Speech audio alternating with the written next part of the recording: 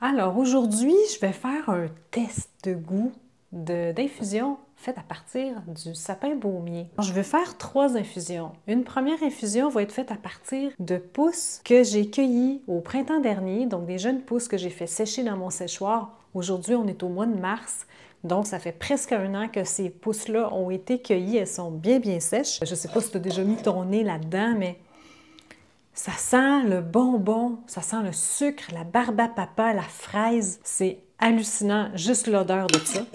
Il va y avoir aussi une infusion faite à partir des aiguilles fraîchement cueillies. Donc, j'ai été cueillir ça tout à l'heure dans ma cour. Ça ne peut pas être plus frais que ça. Et j'ai une troisième version.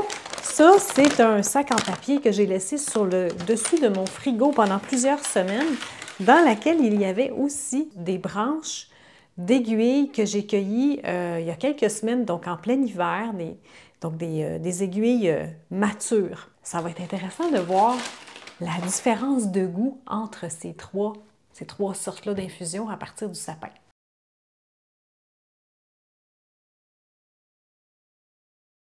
Bon, ben ça fait déjà un peu plus qu'une demi-heure que mes aiguilles de sapin sont en train d'infuser dans l'eau.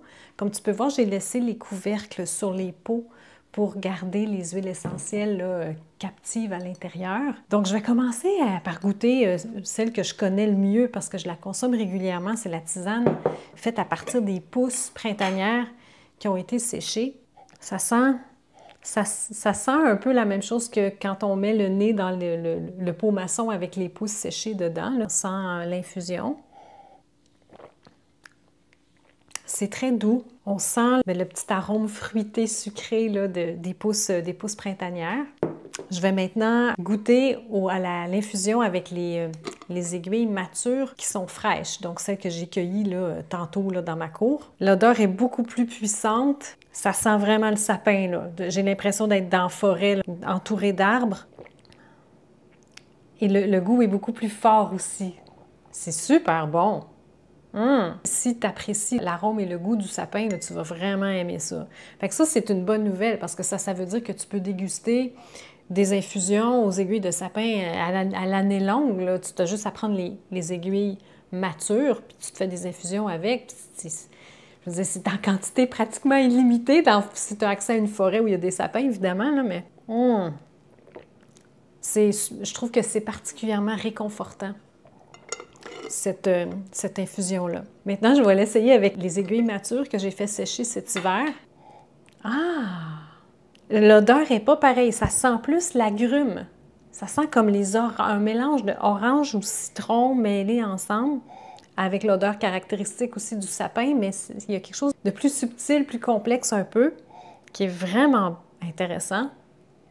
Ça, ça goûte les agrumes, vraiment c'est complètement autre chose.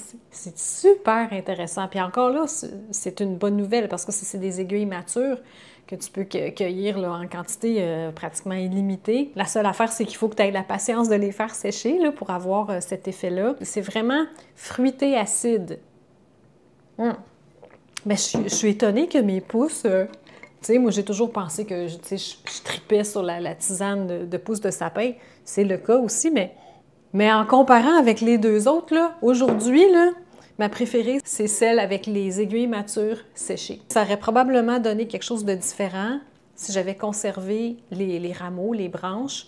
Il y a probablement là-dedans plus de tanin, plus d'amertume, si c'est quelque chose que tu apprécies. Tu as juste à garder les branches. Moi, j'ai pris juste les aiguilles pour, euh, pour que ce soit tout euh, pareil, là, au niveau de la comparaison. Alors voilà, c'était le résultat de mon test d'infusion de sapin. J'espère que tu as apprécié. Puis si jamais tu fais le test chez toi, je serais curieuse de savoir, euh, toi, c'est quoi ton appréciation de tout ça. À bientôt. Bye!